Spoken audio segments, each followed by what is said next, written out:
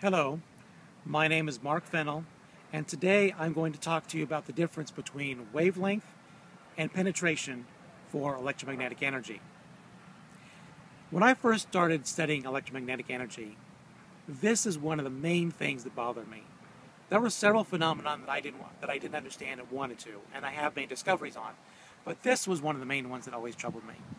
This is because their lack of logic. The logic argument goes like this. Gamma waves are very short. Therefore, gamma rays penetrate. Now, think about that for a second.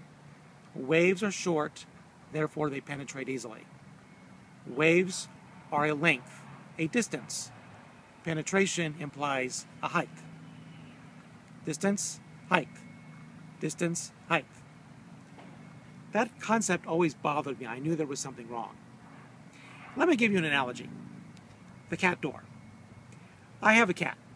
I love my cat a lot. And I'm very familiar with cat doors. Now let's say that you wanted to walk through a cat door. You're going to build up all your energy. You're going to go running and you go slam into the wall, onto the ground. You walk slowly. You hit the wall. You don't fall down, but it still hurts. No matter how fast or how slow that you walk or run, you are not getting through that cat door simply because you're too tall. Same thing with a photon. If the photon is too tall, it's not getting through the space. Similarly, consider our cat. The cat can walk through the door at any pace he wants. He can amble on through it slowly, right, right on through. He can run right through the door, goes very fast through it. He can do that not because of his speed, but because he's short. His height is small enough to make him go through the cat door, whereas you, as a human, will slam into the wall. Thus, speed, your wavelength, your pace, all these different things is not anywhere relevant to penetration. You have to have the height of the photon in order to make that work. So what is the actual correlation. It has been observed that gamma waves do penetrate more easily.